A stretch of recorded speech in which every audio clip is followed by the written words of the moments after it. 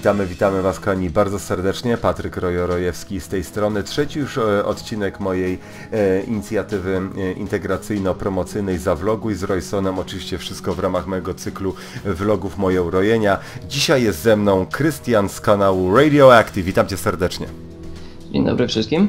Moi drodzy, w ankiecie następnie wybraliście komiksy. I powiem, że jak otrzymałem maila od Krystiana i zapoznałem się z zawartością jego kanału, byłem zachwycony.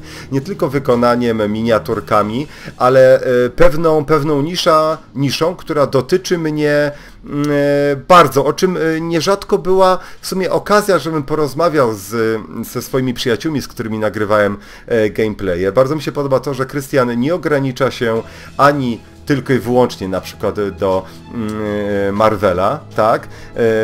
Tylko powiedzmy e, traktuje bardzo szeroko zjawisko bohaterów e, komiksowych, co mi się bardzo, e, bardzo podoba. Krystianie, w kilku zdaniach opisz swój kanał moim widzom. Generalnie jest to miejsce dla wszystkich fanów fantastyki. Chcę stworzyć takie miejsce, w którym każdy będzie mógł wyrazić swoje zdanie i dowiedzieć się czegoś nowego. Coś na zasadzie takiej, można powiedzieć, multimedialnej lub wideo encyklopedii na temat tych superbohaterów, tudzież postaci z różnych uniwersów. Niekoniecznie to musi być tylko, tak jak mówiłeś wcześniej, DC czy Marvel, ale na przykład z czasem może wprowadzę uniwersa takie jak Władca Pierścieni czy Warhammer, lub mhm. może nawet twój ulubiony Fallout. Tak samo jak e, wprowadziłem na kanał bardziej mainstreamową fantastykę, już mówię tutaj o Gwiezdnych Wojnach na przykład. Mhm, mhm. Właśnie i to mi się podoba i dokładnie tak odebrałem twój kanał komiksowa encyklopedia, tak? Encyklopedia bohaterów, których y, wszyscy doskonale znamy, ale czy znamy ich dokładnie? No nie wydaje mi się. Tym bardziej, jeśli ograniczamy się tylko i wyłącznie do e, filmowych przedstawień tych bohaterów w różnych kompilacjach, czy to solo, czy to na przykład Avengersi, prawda? No. A, dobra, no to zacznijmy może tak. E, kto jest twoim ulubionym e, bohaterem? Albo takie top 3 twoich ulubionych? Top 3 wiesz... E, wiem, że, wiem, że, wiem, że to ciężkie pytanie, mam tego świadomość. No to się z czasem zmieniało, powiem ci szczerze, bo mhm. za dzieciaka na pewno najbardziej jarał mnie Spider-Man oczywiście, tak jak pewnie większość z nas. Okej. Okay. Ale z czasem, jak im starszy się robiłem, to bardziej niejednoznaczne postaci zaczęły do mnie trafiać z pokroju Daredevila, Batmana. O, proszę e, bardzo. Tych osób.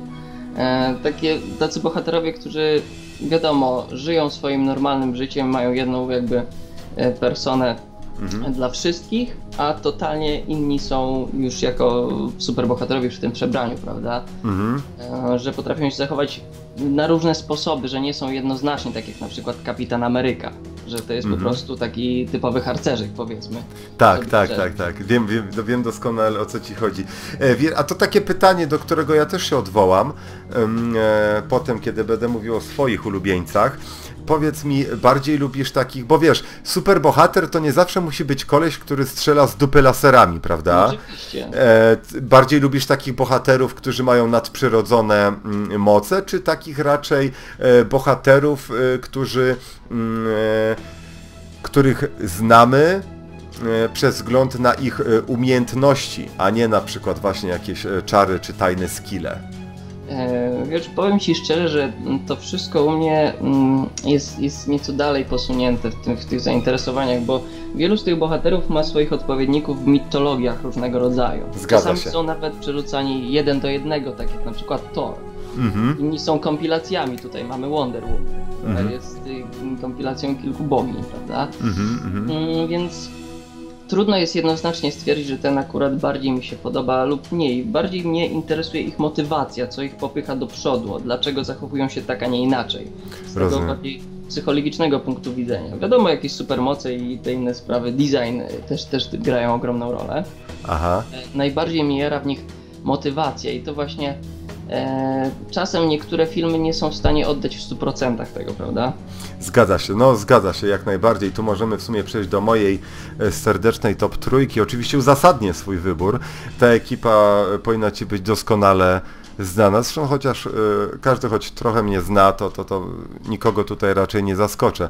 To jest oczywiście Punisher. Punisher, którego pokochałem nie przez filmy, z wyjątkiem trójki um, Warzone, która mi się jakoś chyba najbardziej podobała z tych wszystkich trzech do tej pory, ale przez wzgląd na Dokładnie, brutalne, bezpardonowe, hardkorowe komiksy i to jest właśnie taka mm, e, postać, która wiesz, no oczywiście rządza zemsty, tak, motyw stary jak świat, ale wiesz, mikro, który pomaga mu w, w uzbrojeniu, tak, modyfikacji e, pojazdów, mistrzostwo absolutne mm, świata. Jeśli dodamy do tego genialną grę, z której był kiedyś e, gameplay na moim e, kanale, no to myślę, że łatwo zrozumieć dlaczego ta postać, a nie mm, inna. To był taki mój komiksowy G.I. Joe, to była taka postać, wiesz, prawdziwego samca alfa, takiego mhm. stuprocentowego mężczyzny, który nie pierdoli się w tańcu, tak? Nie jest gościem w pelerynie, e, tylko, tylko no to dosyć brutalna postać, tak? To, to, to nie jest taki Kapitan Ameryka właśnie. E, następna, no, no, przepraszam, możesz rozwinąć oczywiście tą wejdę postać. ci tutaj w słowo, bo a propos hmm. mówiłeś tu o film, filmach o Punisherze, prawda? Tak. Ale to e, nie wiem, czy oglądałeś drugi sezon Daredevila serialu na Netflixie. Tylko dla niego. No właśnie, no to, to tam postać została przedstawiona wręcz jeden do jednego. Ja tak. mam wrażenie, że czytam komiks autentyczny. Tak, tak, po prostu coś genialnego. Ten aktor po prostu zagrał, tak, tak, zagrał go świetnie. Znaczy, jak, to była taka scena, oczywiście tu nic wam nie zaspoileruję, gdzie on się tam przygotowuje do obławy na tych y, moco, motocyklistów, prawda? I tam przygotował sobie już karabiny, granatniki i, i, i niestety tam nie doszło do takiej rozwałki, rozwałki jakbym chciał, ale potem y, doszło do, do takiej sceny, y, powiedzmy, y, rodem z y, no z takich y, filmów, kurczę, typu Tarantino bardziej, w myśl tej broni białej, y, ale okej. Okay. Następna e, postać to Blade. Blade Wieczny Łowca, którego pokochałem właśnie odwrotnie, przez wzgląd na filmy, które mi się strasznie, y, strasznie podobały. I znów bohater, który po raz kolejny był bezpardonowy, groteskowy w swoim, swojej brutalności. znów nie pierdolił się w tańcu. świetnie Wesley Snipes go zagrał. Też miał swojego pomagiera tak samo jak Punisher Micro. Mm, no plus y, doskonała ścieżka dźwiękowa. Wiem, że tu odchodzę troszeczkę od tematu komiksów, ale, ale Blade Blade y, strasznie mi się dobrze to po prostu y, oglądało. Um, no i ostatnia sprawa to oczywiście Deadpool. Deadpool przez wzgląd na kompletnie inne podejście do tematu, tak, w myśl no takiego humorystycznego e, przedstawienia, tak, zabawy kliszami, e, odwołaniami, prawda, e, powiedzmy śmianiem się troszeczkę z tego e, patosu, z tej popantyczności mm, e, znanej e, nam powiedzmy przede wszystkim z filmów. To mi się strasznie podoba. Bym strasznie chciał zobaczyć to trio w jakimś filmie, ale żyjemy w takich czasach, gdzie te miksuje się, krosuje się powiedzmy te no, światy. Będzie trochę trudne jeszcze w tym przypadku, biorąc pod uwagę ten podział praw. Który... Tak, tak, to jest całkowicie, każdy jest innej bajki, ja, ja to wiem. Trochę, ja trochę to, jest słabe pod tym względem, bo właśnie mm. Marvel jest rozłożony na różne studia i Sony, Foxa i Disneya w tym wypadku, także mm. żeby się oni spotkali to trochę czasu musi minąć i dogadywania się. Zgadza się, zgadza się. To jest, to jest fantastyczna e, sprawa, wobec której nie trzeba być osobą młodą, żeby się tym bawić. Pokazują to e, no, wyniki sprzedaży biletów Avengersów, prawda, które Oczywiście. są rekordowe e, wręcz. A jakbyś skontrastował właśnie komiksy kontra ekranizacje, filmy? Jak wiemy, ekranizacje gier są raczej tragiczne, z reguły tragiczne. Jak to jest w sytuacji komiksów? Pytam znawcę w tym momencie, eksperta, które filmy najgorzej przedstawiły według Ciebie oczywiście, a które najlepiej? Może wezmę na początek takie sztandarowe przykłady, czyli tutaj Civil War, który miał premierę swoją ostatnio, mhm. no i Batmana i Supermana i to, to jest najlepszy przykład, mhm. co można zrobić lepiej i co gorzej, prawda? Rozumiem. Jeśli chodzi o Batmana i Supermana, design był fantastyczny, muzyka mhm. spoko, mhm. wszystko w pewien sposób powinno grać, aktorzy dobrani pod względem wyglądu fantastycznie, mhm. A, ale nie, zagrało, nie zagrała generalnie chyba wizja reżysera, w który po, po prostu połączył wszystkie takie jakby sceny z komiksów, różnych tych najlepszych DC, Aha. E, ze sobą taki jakby kolaż. Aha, że, ja słyszałem, ja słyszałem, że to się kupy dupy nie trzymało, niektóre tak, elementy. I na dobrą sprawę oglądałeś sceny, ulubione sceny z ulubionych komiksów, takich tych najbardziej y, znanych czy kultowych, mhm. ale nie miały one większego sensu. I to jest właśnie największy problem. Jeśli chodzi o Avengers, no to mamy przecież Civil War, no to na dobrą sprawę z tytułem komiksu on ma wspólny tylko główny plot, czyli tam te założenia, że Stark kontra Kapitan Ameryka. e, i tytuł, tak? Wie- A już resztę dopisują, prawda, sobie mm, reżyserowie sami. I można zrobić film równie dobry, który ma bardziej wspólne z komiksem na zasadzie takiej easter eggów, różnych punktów wspólnych, Rozumiem. powrzucenia róż, w różne miejsca. Aczkolwiek, no, jeśli chodzi o Marvela, to problem polega na tym, że mm, przynajmniej moim zdaniem, bo wiadomo, każdy ma e, swoje, że z racji tego, że no jakby odcinamy kupony już, jeśli chodzi o Marvela, bo wszyscy chodzą na te filmy, pieniędzy jest masa Mhm. z tego, e, mm, także e, myślę, że oni nie chcą uśmiercać w ogóle swoich bohaterów, prawda, swoich postaci. No tak. To wszystko się trochę robi taka, taki tasiemiec z tego i Trochę tak. w którym, w którym ja nie odczuwam konsekwencji. Mhm. Na tej zasadzie. Mi No, ciekawe. brakuje. Że, że powinien być jakiś taki zwrot akcji jeden drugi, tak jak spodziewałem się przy okazji Age of Ultron. Nie, Mhm, wiem, nie wiem, czy oglądałeś akurat tych, tą część Avengers. Tak, tak, ja oglądałem wszystkie. Ja, ja wszystkie filmy oglądałem o superbohaterach, jak leci.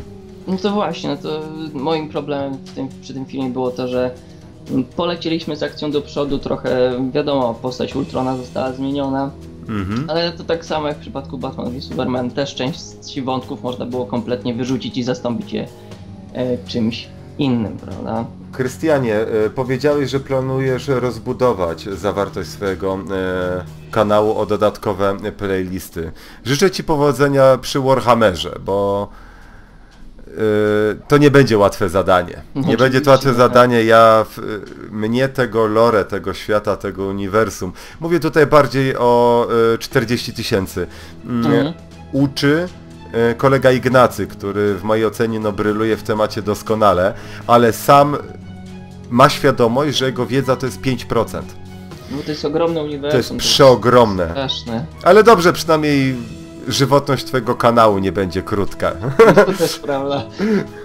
Kochani, mhm, jasne, moi drodzy, chciałbym was zostawić z takim zapytaniem, byście wymienili w komentarzach właśnie swojego ulubionego bohatera oraz ulubioną moc obojętnie jakiego innego bohatera, bądź tego samego, którego wymienić. Ja strasznie lubię wprowadzać taki motyw aktywizujący, tak, e, jeśli chodzi o, o, o komentarze pod tym em, e, materiałem.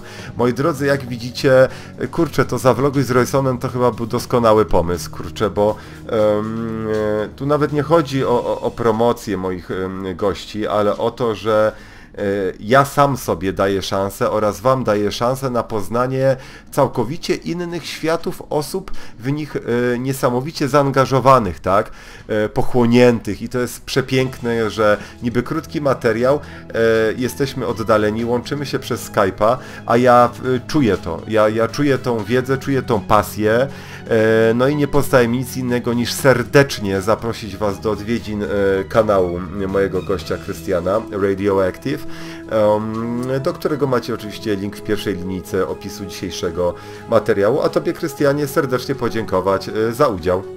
Ja jeszcze też bardzo dziękuję. Pozdrawiamy serdecznie i do następnego. Trzymajcie się, hej hej.